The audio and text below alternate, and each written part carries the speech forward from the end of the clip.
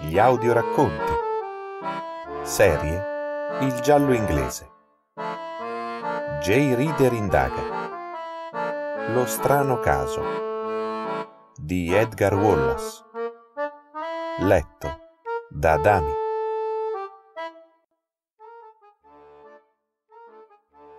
Al tempo in cui il signor Reader era giovane, i giorni in cui si affittavano ancora le carrozze e in cui nessun gentiluomo avrebbe mai sognato di viaggiare all'estero senza un fiore all'occhiello. Il signor Reader venne inviato, assieme ad un altro imberbe funzionario di Scotland Yard, ad arrestare un giovane inventore di Nottingham, che aveva guadagnato ingenti somme con metodi che a Scotland Yard non risultavano molto graditi. Questo giovanotto non aveva inventato apparecchi ingegnosi per risparmiare fatica, bensì aveva inventato storie. Però non erano storie nel senso comunemente accettato, ma inganni fraudolenti, intesi a spillare denaro dalle tasche di uomini e donne troppo ingenui. Il signor Willy Elter impiegava non meno di 25 nomi diversi e altrettanti indirizzi falsi nel compimento della sua finzione.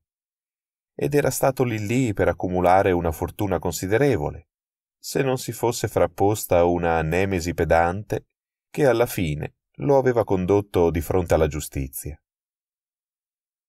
Un giudice l'aveva giudicato senza alcuna simpatia e l'aveva rinviato a sette anni di lavori forzati, descrivendolo come un truffatore incosciente e una minaccia per la società. A quel punto Willy Elter aveva sorriso, perché aveva la pelle al cui confronto quella di un elefante pareva un leggero velo. Il signor Reader ricordava il caso soprattutto perché il pubblico ministero, commentando i vari travestimenti e sotterfugi adottati dal colpevole, aveva sottolineato una peculiarità che appariva in ogni parte recitata dall'imputato costui era assolutamente incapace di scrivere la parola potrete, che invariabilmente trasformava in portete. Una simile debolezza è peraltro riscontrabile in ogni criminale, per quanto ingegnoso possa essere, aveva detto l'avvocato. In qualsiasi travestimento, a prescindere da quanto ci si immedesimi nella parte, esiste sempre una distinguibile falla, particolarmente osservabile nei criminali che vivono di frodi e di truffe. Il signor Reader si era sempre ricordato di questo particolare per tutta la sua vita operativa, benché pochi sapessero che un tempo aveva fatto parte di Scotland Yard. Era lui stesso ad evitare ogni domanda sull'argomento e faceva parte del suo stile fingere di essere il più puro dei dilettanti, affermando che i successi nella cattura dei malfattori dipendevano principalmente dalla sua mente contorta che vedeva tanto spesso il male là dove effettivamente il male dimorava.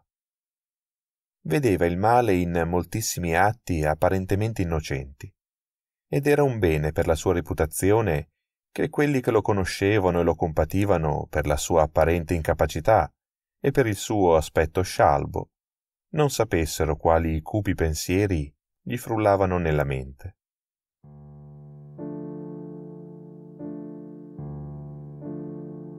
Nella vita del signor Reader c'era una ragazza molto graziosa che abitava in Brockley Road in una pensione. La signorina Margaret Bellman non gli piaceva tanto perché era bella, quanto perché era una ragazza di buon senso, due termini che solitamente sono in contrasto tra di loro. La ragazza gli era talmente simpatica che spesso faceva assieme a lei la strada in macchina, discutendo del principe di Galles, del governo laburista, dell'aumento del costo della vita e di altre simili quisquiglie con grande accanimento. Fu proprio dalla signorina Bellman che Reader venne a sapere della sua coaffettuaria, la signora Carlin. Una volta fece anche con lei la strada fino a Brockley. Era una ragazza fragile e sottile, con il viso pieno di esperienza e la traccia di una tragedia nei bei occhi azzurri. Fu così che il signor Reader seppe del signor Henry Carlin ben prima che Lord Sellington lo interessasse al caso, e questo perché Reader sapeva come evocare confidenze più che vuote espressioni di simpatia.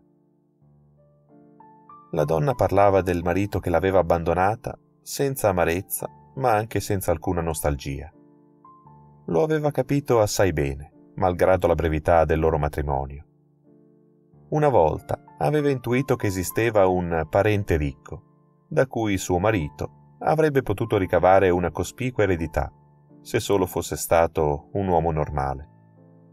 Loro figlio, a sua volta e al momento opportuno, sarebbe venuto in possesso di un prestigioso titolo nobiliare, anche se per via del padre non avrebbe avuto un soldo. La donna aveva messo un grande impegno nel cercare le parole più giuste, e il signor Reader, naturalmente sospettoso di una nobildonna che si adattasse ad abitare a Brockley, si era definitivamente convinto della sua sincerità, anche se doveva aver commesso qualche grosso errore. In seguito venne a sapere che il roboante titolo era quello di Sua Eccellenza il Conte di Sellington e Manford. seguì un periodo di inattività per l'ufficio del pubblico ministero, in cui si ebbe l'impressione che la malvagità avesse abbandonato il mondo.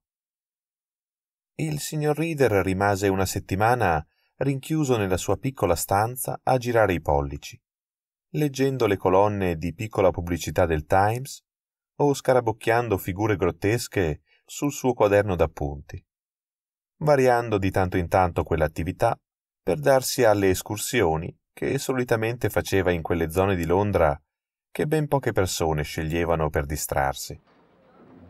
Si divertiva a frugare negli squalidi quartieri attorno ai docks di Great Surrey e non gli dispiaceva nemmeno frequentare il lato nord del fiume, sempre nella zona dei docks.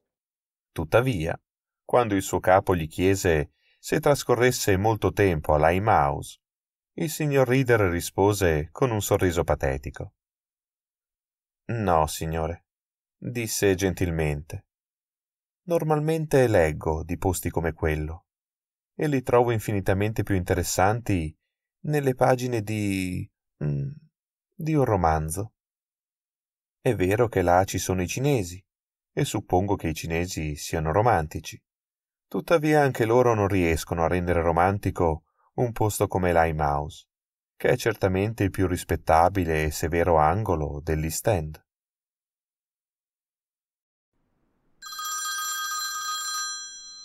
Un giorno il pubblico ministero mandò a chiamare il suo investigatore capo e il signor Reader rispose con passo leggero e un piacevole senso di attesa. Dovete andare al Ministero degli Esteri a parlare con Lord Sellington, disse il pubblico ministero. È piuttosto preoccupato per suo nipote, Henry Carlin. Avete già sentito il suo nome? Il signor Reader scosse il capo. Infatti in quel momento non aveva associato il nome con la ragazza pallida abbandonata dal marito che faceva la dattilografa per vivere. un bel pezzo da galera, spiegò il pubblico ministero. Ma fortunatamente per lui è anche l'erede di Sellington. Immagino che l'anziano signore vorrà chiedere conferma del suo punto di vista. Oh, povero me, esclamò il signor Reader prima di andare via.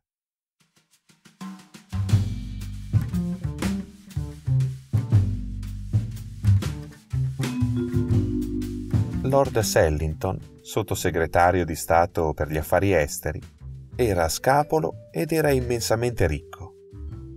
Era diventato ricco nel 1912, quando nel panico seguito a certe leggi che secondo lui avrebbero negativamente influito sui suoi grandi possedimenti terrieri, aveva infine venduto tutto, investendo la maggior parte della sua fortuna in azioni industriali americane, seppur contro il parere di tutti gli esperti.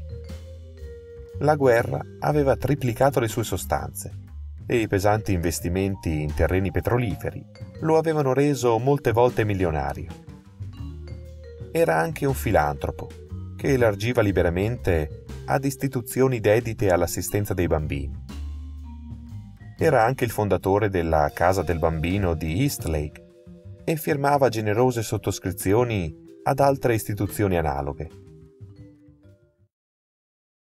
Il suo volto era scarno e severo, e ora fissava il signor Reader al di sotto delle sopracciglia cespugliose, mentre questi osservava a disagio la stanza.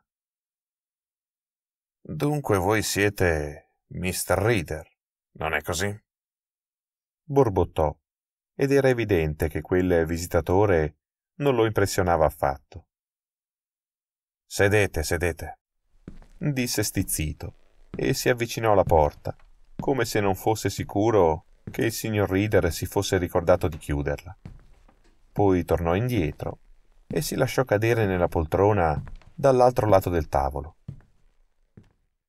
Ho preferito chiamare voi piuttosto che la polizia, confessò. Sir James parla di voi come della discrezione in persona. Il signor Reader accennò un breve inchino, a cui seguì una pausa imbarazzante, che il sottosegretario concluse con un gesto improvviso ed irritato. Ho un nipote, Harry Carling. Lo conoscete? Lo conosco affermò il signor Reader, che nel percorso fino al Ministero degli Esteri si era ricordato della moglie abbandonata. Certamente non avrete sentito niente di buono sul suo conto, esplose Sua Signoria. È un'anima nera, uno sciupone, una disgrazia per il nome che porta. Se non si trattasse del figlio di mio fratello, ormai lo avrei fatto mettere sotto chiave quel mascalzone. Posseggo quattro documenti. Si interruppe e aprì violentemente un cassetto da cui estrasse una lettera che gettò sul tavolo. Leggete, sbottò. Il signor Reader spinse gli occhiali a pince un po' più sulla cima del naso. Quando li voleva utilizzare veramente, li teneva ben attaccati agli occhi. Lesse velocemente. La lettera era intestata a Casa del Bambino di Eastlake ed era una breve richiesta di 5.000 sterline, nella quale lo scrivente affermava che avrebbe mandato qualcuno quella sera stessa. Era firmata Arthur Lazard. Naturalmente voi conoscete Lazard, chiese Sua Signoria. Si tratta del gentiluomo mio socio in questa opera filantropica dovevo una certa somma per l'acquisto di terreni limitrofi alla casa del bambino. Forse voi sapete che certi avvocati non accettano mai assegni per trattare le proprietà che i clienti affidano loro. Per cui avevo già preparato il denaro e lo avevo lasciato al mio segretario, dato che una persona di Lazard avrebbe dovuto passare a ritirarlo. Inutile che vi dica che effettivamente venne ritirato disse cupamente Sua Signoria. Chiunque abbia progettato il colpo lo ha fatto molto bene. Sapevano che l'altra sera avrei dovuto parlare alla Camera dei Lord. Sapevano inoltre che recentemente avevo cambiato il segretario e ne avevo assunto uno che non conosce ancora la maggior parte dei miei soci. Venne a riscuotere un uomo con la barba, verso le sei e mezza. Presentò un biglietto del signor Lazard e così il denaro prese il volo. Anche se questa mattina si è scoperto che quei soldi sono stati cambiati in valuta americana. Naturalmente entrambe le lettere erano state falsificate e Lazard non aveva firmato mai nessuna delle due, né aveva mai richiesto il denaro che non doveva essere devoluto prima di una settimana. Qualcun altro sapeva della transazione? chiese il signor Reader. Sua Signoria annuì lentamente. Mio nipote lo sapeva. Venne a casa mia due giorni fa a chiedere soldi. Possiede una piccola rendita, derivante dalle proprietà della sua povera mamma. Tuttavia è insufficiente a soddisfare le sue avventate stravaganze. Ammise apertamente di essere ritornato da Aix-en-Provence senza un soldo. Non saprei dire per quanto tempo sia rimasto a Londra.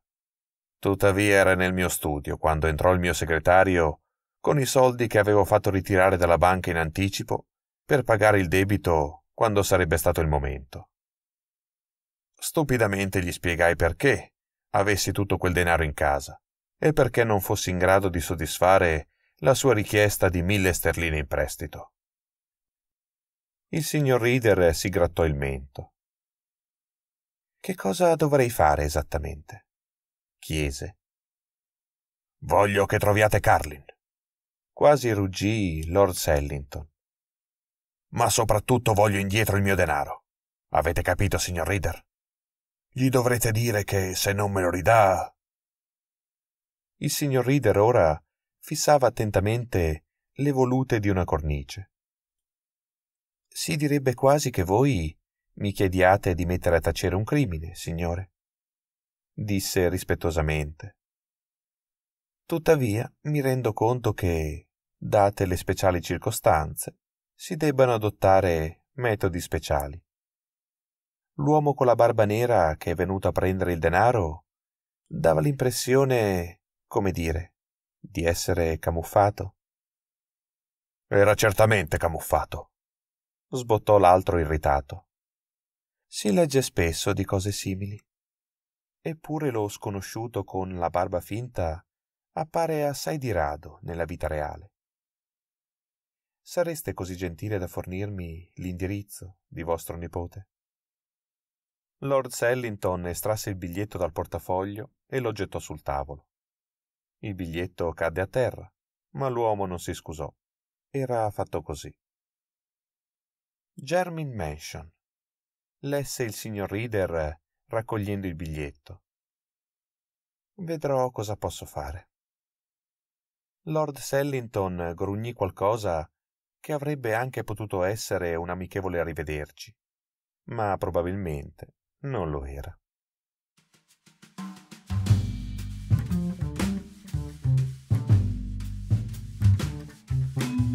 Germin Mansion è un piccolo edificio con una stretta facciata e, come a conoscenza del signor Reader, che sapeva molte cose, si trattava di una casa di appartamenti residenziali gestiti da un ex maggiordomo che fungeva anche da affittuario. Fu una bella fortuna, come ebbe poi a scoprire il signor Reader, che Henry Carlin fosse in casa. Così, dopo pochi minuti, l'uomo del pubblico ministero venne fatto accomodare in uno squallido salotto che si affacciava su Jeremy Street. Un giovane alto stava in piedi di fronte alla finestra con espressione sconsolata a fissare la via stretta ma animata. E si voltò verso il signor Reader quando questi gli venne annunciato. Aveva il volto affilato, la testa stretta, gli occhi piccoli. E se c'era un tratto o un difetto di famiglia che possedeva, doveva essere sicuramente la facile irritabilità. Attraverso la porta spalancata, il signor Reader scorse una camera da letto assai disordinata e intravide una grande valigia in cattivo stato coperta da etichette continentali. Allora, cosa diavolo volete? domandò il signor Carli. Eppure, malgrado il tono, si intuiva con chiarezza una forte inquietudine. Posso sedermi? disse il detective, e senza attendere conferme, tirò una sedia da contro il muro e si sedette guardingo, dato che ben conosceva la qualità delle sedie nelle case in affitto. I modi decisi e la nota autoritaria nella voce accrebbero grandemente il disagio del signor Henry Carlin, e quando alla fine il signor Reader giunse direttamente al punto, vide che l'altro impallidiva. Mi rendo conto che è un argomento di non facile discussione, osservò il signor Reader lisciandosi le ginocchia. E quindi preferirei usare il linguaggio più diretto possibile. Infatti usò un linguaggio assai diretto, quasi con gusto. A un certo punto Carlin si dovette sedere sconvolto. Cosa? balbettò. Quel vecchio bruto oserebbe tanto. Avevo pensato che voi foste venuto per le cambiali. Voglio dire. È chiaro, disse il signor Reader cercando le parole, che se per caso aveste voluto divertirvi con il vostro parente, forse ora la bravata è andata un po' troppo oltre. Lord Sellington è disposto, previa restituzione del denaro, a considerare l'intera faccenda come una specie di scherzo troppo elaborato da parte vostra. Ma io non ho toccato il suo maledetto denaro. Non voglio il suo denaro. Al contrario, signore, ribatté Reader molto gentilmente. Voi lo desiderate moltissimo.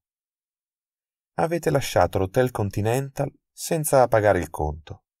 Dovete circa 600 sterline a vari gentiluomini a cui avete chiesto denaro in prestito.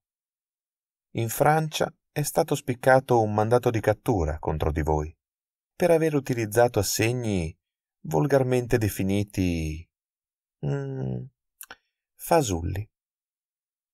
In verità, Mr. Reader si grattò di nuovo il mento fissando fuori dalla finestra.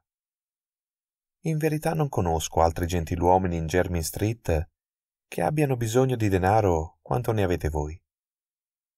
Forse Carlin avrebbe dovuto fare qualcosa per interromperlo, ma l'uomo di mezza età continuò a parlare senza alcuna pietà. Ho trascorso un'ora nel dipartimento segnaletico di Scotland Yard e ho appreso che il vostro nome non è sconosciuto da quelle parti, signor Carlin. Avete lasciato Londra piuttosto in fretta per evitare certi provvedimenti di carattere spiacevole, diciamo. Immagino che voi li definiate cambiali. Non è così? Si sa che avete frequentato personaggi a voi meglio noti di quanto possono esserlo alla polizia stessa. Inoltre, avete preso parte ad una certa frode alle corse. E tra i vostri reati minori figura anche una mm, giovane moglie abbandonata, attualmente impiegata in un ufficio della City come dattilografa, assieme ad un bambino a cui voi non avete mai provveduto. Carlin a questo punto si passò la lingua sulle labbra inaridite. È tutto? chiese cercando di insinuare nella voce alterata un tono ironico, mentre le mani gli tremavano visibilmente e tradivano la sua agitazione. Reader annui. Bene, vi dirò una cosa. Voglio comportarmi correttamente con mia moglie, anche se ammetto di non essere stato leale nei suoi confronti. Però non ho mai avuto il denaro per comportarmi lealmente. Quel vecchio demonio ha sempre approfittato della situazione, maledetto lui. Sono io il suo unico parente. E cosa ha fatto lui? Ha lasciato ogni briciola a quei dannati orfani. Se qualcuno gli ha fregato le cinquemila sterline, ne sono proprio contento. Io non ne avrei avuto il coraggio, ma sono contento che qualcuno lo abbia fatto, chiunque sia stato. Lasciare tutto ad uno sciame di marmocchi vocianti e con le labbra appiccicose, e niente a me. Il signor Reader lo lasciò sfogare senza mai interromperlo, finché alla fine come esaurito dallo sforzo, l'uomo si lasciò cadere su di una grande sedia, fissando il suo ospite. Diteglielo, aggiunse senza fiato. Diteglielo.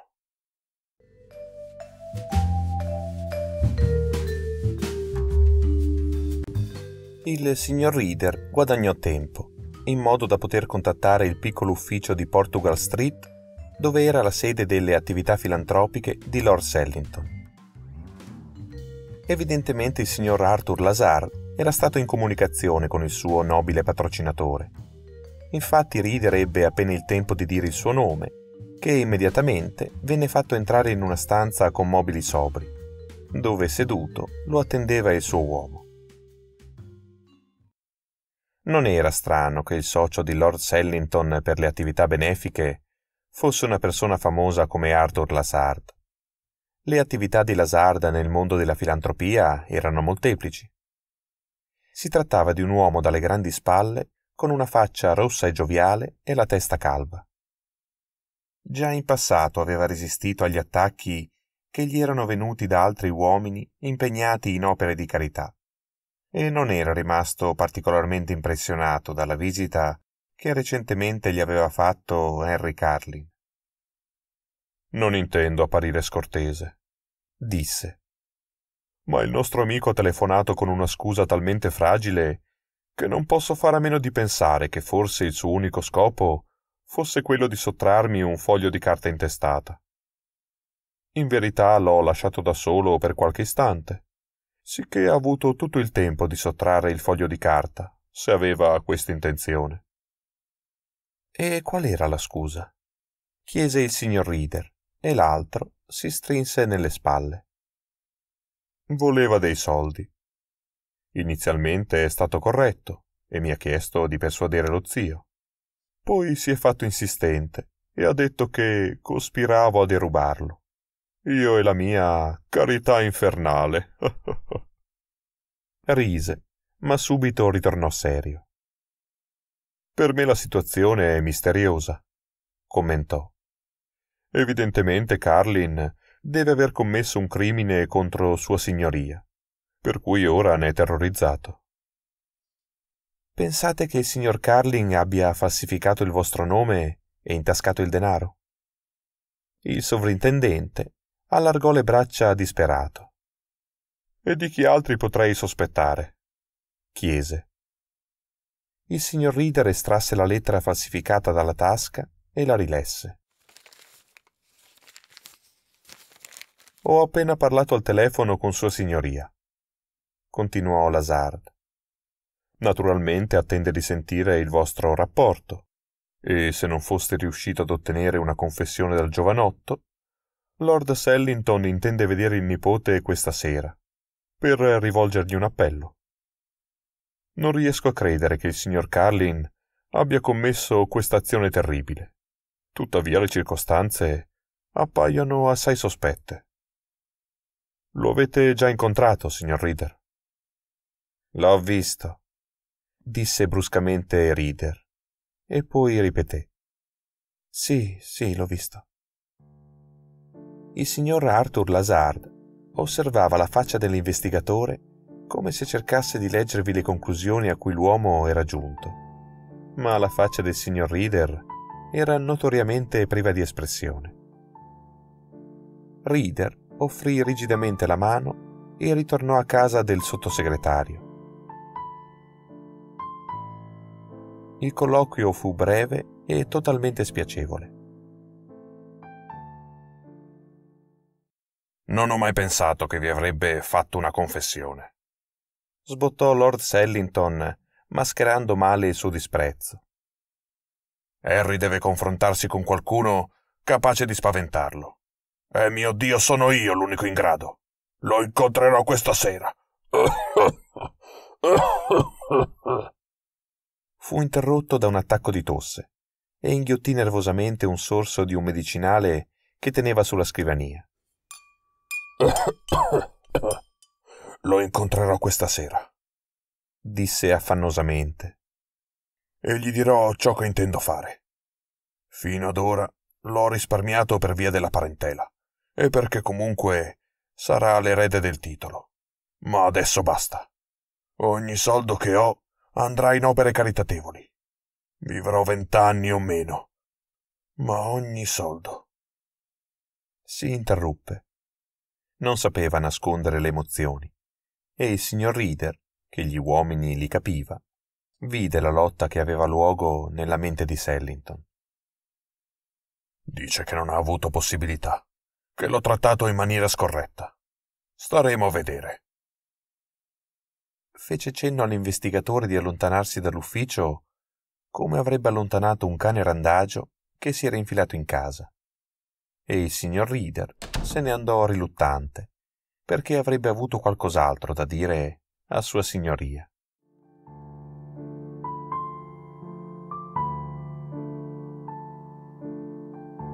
Reader, nei suoi momenti di introspezione, cercava la riservatezza nel suo studio di Brockley Road, tra i vecchi arredi. Sedette alla scrivania per due ore, chiamando una serie di numeri, e, cosa abbastanza curiosa, i signori con cui parlò erano soprattutto bookmaker, che in gran parte conosceva di persona.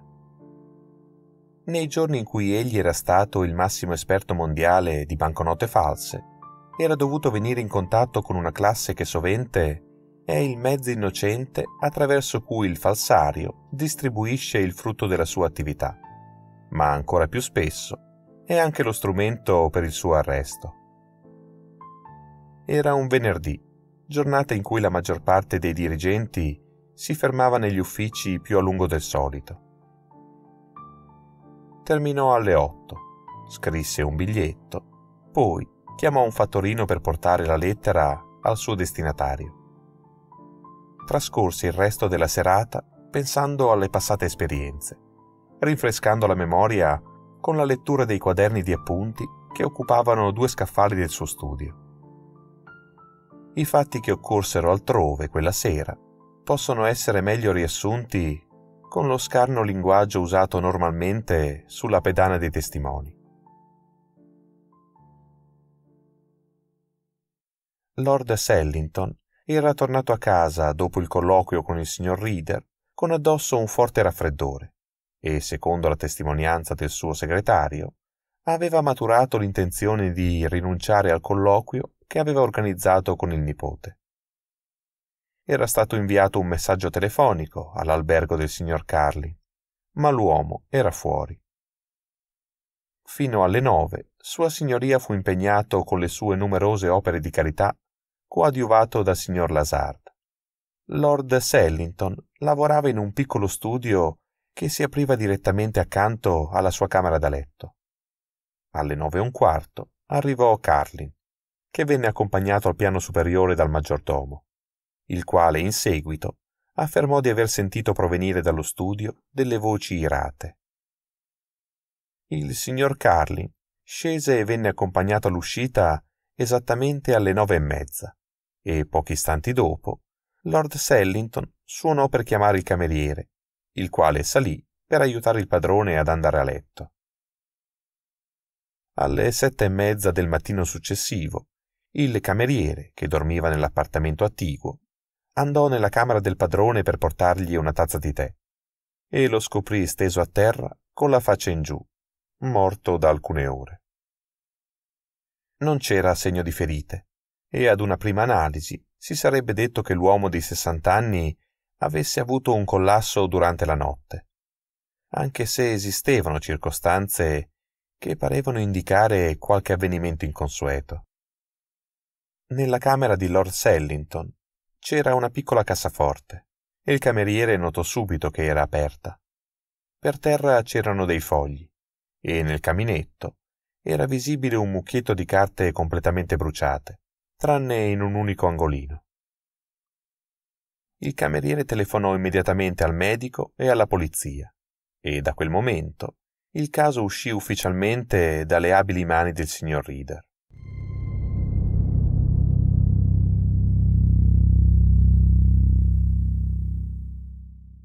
Quella stessa mattina, più tardi, Reader riferì brevemente al suo superiore i risultati dell'inchiesta. Omicidio, temo, disse tristemente. Il medico legale del Ministero degli Esteri è perfettamente certo che si tratti di un caso di avvelenamento da aconitina. Hanno fotografato la carta nel caminetto e non c'è alcun dubbio che si tratti del documento con cui Lord Sellington lasciava tutti i suoi averi ad alcuni istituti di carità. Fece una pausa. Allora? chiese il capo. Che cosa significa? Il signor Reader tossì. significa che se questo testamento non potrà essere pubblicato, e dubito che ce ne sia un altro, Sua Signoria è morto senza alcun testamento, perciò ogni suo avere va con il titolo. Ah, Carlin, chiese il pubblico ministero colpito. Il signor Reader annui. Sono stati bruciati anche altri documenti. Quattro lunghe strisce di carta che erano state evidentemente unite assieme con uno spillo. Le scritte sono quasi del tutto indecifrabili. Reader sospirò di nuovo. Il pubblico ministero sollevò lo sguardo. Non avete fatto cenno alla lettera che è arrivata tramite un fattorino a Lord Sellington? No, non ne ho parlato, disse riluttante. È stata ritrovata? Il signor Reader esitò. Non lo so, ma credo proprio di no, ammise. Potrebbe gettare nuova luce sul crimine, secondo voi? Oh, mi parrebbe di sì. Uh, ma mi volete scusare, signore? L'ispettore Salter mi sta aspettando. E uscì dalla stanza prima che il pubblico ministero potesse chiedergli altro. L'ispettore Salter camminava nervosamente su e giù per la piccola stanza quando ritornò il signor Reader. Lasciarono assieme l'edificio e la macchina che li attendeva li portò a Jermyn Street in pochi minuti.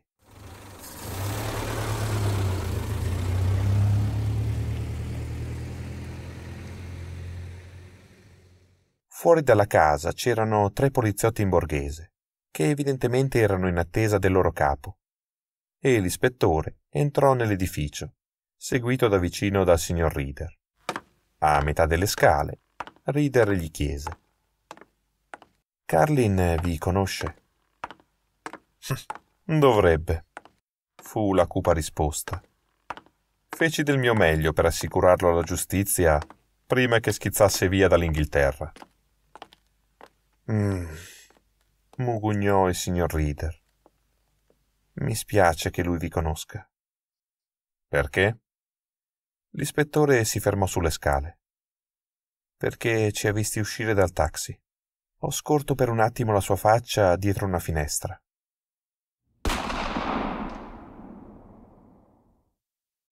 Si fermò all'improvviso. Il rumore di uno sparo risuonò per tutta la casa e dopo un attimo l'ispettore si era già lanciato in avanti facendo i gradini a due a due e piombando nell'appartamento occupato da Carlin. Bastò uno sguardo alla figura prostrata per capire che erano arrivati troppo tardi.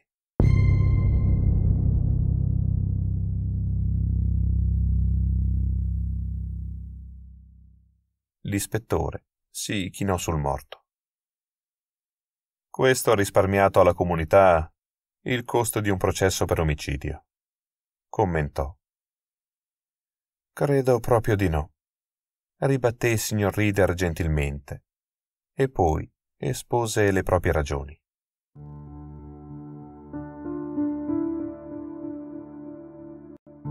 Mezz'ora più tardi, mentre il signor Lazard usciva dal suo ufficio, un detective lo toccò sulla spalla. Voi vi chiamate Willy Elter, disse, e vi dichiaro in arresto per omicidio.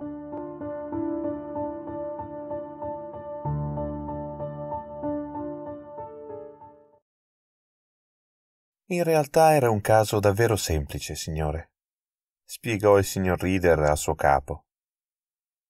Naturalmente conoscevo personalmente Elter, ma la cosa che ricordavo meglio era la sua incapacità di scrivere la parola potrete. Io riconobbi immediatamente questa particolarità del nostro amico nel momento in cui potei leggere la lettera che scrisse al suo patrocinatore chiedendogli del denaro. Fu lo stesso Elter, camuffato con una barba finta, a ritirare le cinquemila sterline. Questo è certo. Willy Elter o Arthur Lazard è ed è sempre stato un giocatore accanito e non dovetti fare molte indagini per scoprire che era in debito di una forte somma e che un bookmaker aveva minacciato di trascinarlo di fronte ad una corte di giustizia se non avesse pagato. Questo avrebbe significato la fine per il signor Lazard, il filantropo amico dei bambini, che tra l'altro era proprio il ruolo di Elter. Gestiva false società di beneficenza ed era straordinariamente facile trovare gonzi che sottoscrivevano offerte filantropiche. Molti anni fa, quando ero giovane, io contribuii a fargli appioppare sette anni. Da allora lo avevo perso di vista, finché non vidi la lettera che lui aveva inviato a Lord Sellington. Per sua sfortuna c'era una frase che diceva Sarò lieto se portete consegnare il denaro al mio fattorino. Aveva scritto proprio portete come faceva Elter. Feci delle ricerche su di lui e me ne assicurai. Scrissi a Sua Signoria, che a quanto pare non aprì la lettera fino all'altra notte tardi. Elter gli aveva telefonato in serata e aveva avuto con lui una lunga conversazione. Posso solo presumere che forse Lord Sellington avesse espresso qualche dubbio a lasciare suo nipote senza un soldo, anche se il giovanotto era un mascalzone, ed Elter era terrorizzato dalla possibilità che il suo piano per entrare in possesso degli averi del vecchio signore potesse fallire. Inoltre la mia apparizione nel caso lo aveva spaventato. Così decise di uccidere Lord Sellington quella notte. Prese con sé la conitina e l'introdusse nella bottiglietta della medicina che stava sempre sul tavolo di Sellington. Immagino che prima di andare a letto, Lord Sellington aprì la lettera che gli avevo inviato attraverso un fattorino speciale a Stratford Place. Era sua dunque la lettera consegnata da un fattorino. Il signor Reader annui. Forse Sellington era ormai sotto l'influenza della droga, quando, dopo aver letto la lettera, decise di bruciare il testamento a favore di Lazar, bruciando anche le quattro cambiali che Carlin aveva falsificato e che il vecchio usava per minacciarlo. Carlin, dal canto suo, deve aver saputo che lo zio era morto, e certamente aveva riconosciuto l'ispettore mentre questi usciva dal taxi. Ha pensato di poter essere arrestato per falsificazione o peggio per l'omicidio dello zio e si è sparato. Il signor Reader strinse le labbra e il suo viso malinconico si allungò ancora di più. Chissà cosa sarebbe successo se non avessi mai incontrato la signora Carlin. Il fatto che l'avessi conosciuta introduce quell'elemento di coincidenza che forse è ammissibile nei romanzi, ma è angoscioso nella vita reale. Scuote la nostra fiducia nella logica. L'unica consolazione che abbiamo è che ora titolo ed eredità andranno al povero figlio della signora Carlin, in fin dei conti tutto è finito ugualmente ad un orfano.